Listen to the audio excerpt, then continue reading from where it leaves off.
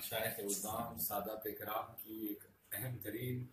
Meeting منعقد ہوئی اور اس اجلاس کا مقصد دراصل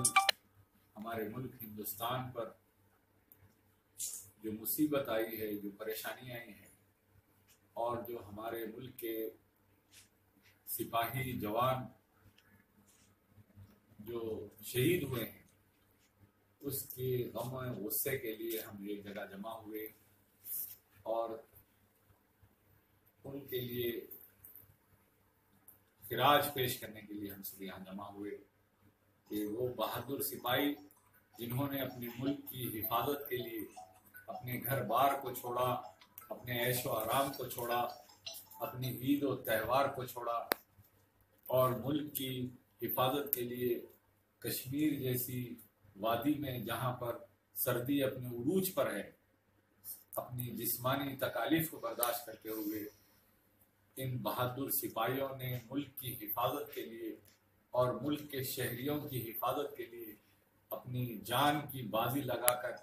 وہاں پر ملک کی حفاظت کر رہے تھے اور ان پر ایک یہ جو حملہ ہوا ہے، یہ حملہ صرف ان سپاہیوں کے اوپر نہیں ہوا، بلکہ سارے ہندوستان کے ہر شہری پر یہ حملہ ہوا ہے۔ اور ہم اس حملے کی سخت ترین الفاظ میں مذمت کرتے ہیں اور ان تمام سپاہیوں کے جو افراد خاندان ہیں، ان سے ہمارے اپنے اظہار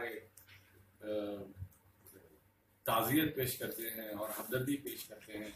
اور ان کے لیے ہمارے کنڈولنسز ہم یہاں سے روانہ کرتے ہیں۔ حیدرآباد کے تمام شہریوں کی جانب سے اور مشاہد الزام سادات اکرام کی طرف سے ہم ان کے لیے اپنی طرف سے خراج پیش کرتے ہیں۔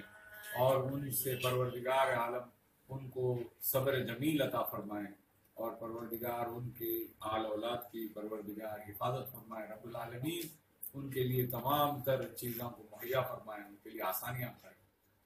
اور ہندوستان پر یہ ہر شہری کا یہ فریضہ ہے کہ ہمارے ملک پر کوئی حملہ ہو، اس کی جو ہے بھرپور مذمت کی جائے اور حکومت اس پر خالی نہ رہے۔ بلکہ تمام کو جو بھی ان پر حملہ ہوا ہے، اس کا سخت سخت الفاظ میں اس کا جواب دے اور ایکشن لے اس کے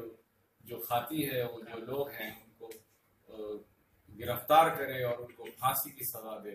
اور جو ملک پاکستان، جو ہندوستان کے مسلسل خلاف میں اپنی کاروائیاں کر رہا ہے، پاکستان کو بھی چاہیے